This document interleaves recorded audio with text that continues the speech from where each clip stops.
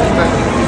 Amazing Korean barbecue na affordable at malalaki ang serving. Meron pala mga ganyang Korean food sa food court ng SM Valenzuela. Makikita natin sa Cupbob na sa third floor ng food court. Nasa harapan mo mag scoop sila ng iba't ibang meat toppings at mga side dishes na kasama. Katulad nitong super combo, super sa dami yung mga included. May rice, may seaweed soup, may laman ng mga small slice ng beef and seaweed. Automatic may japchae at tteokbokki. Sa meat naman, pipili ka kung beef, spicy pork, or spicy chicken chicken at isang side dish Choose any sa apat like fish cake, potato marbles, fried kimchi, or kimchi fresh. Full meal ka talaga rito. Meron din sizzling bibimbap, ang cute ng heart-shaped egg. Beef yung meat, may toge, eggplant, carrots, repolyo, white onion, at kimchi. Ang sarap ng kanin sa ilalim pag natusta. With soup na rin yan. Flavorful, hindi tinipid sa lasa, at ang daming mga nakalagay. Ito naman yung mga kapbab, maraming flavors, katulad ng spicy chicken, beef bulgogi, spicy pork jeyuk. Lahat sila meron kasamang japchae at kimchi. Ang pinakabago sa menu nila yung Gangnam Chicken crunchy coating,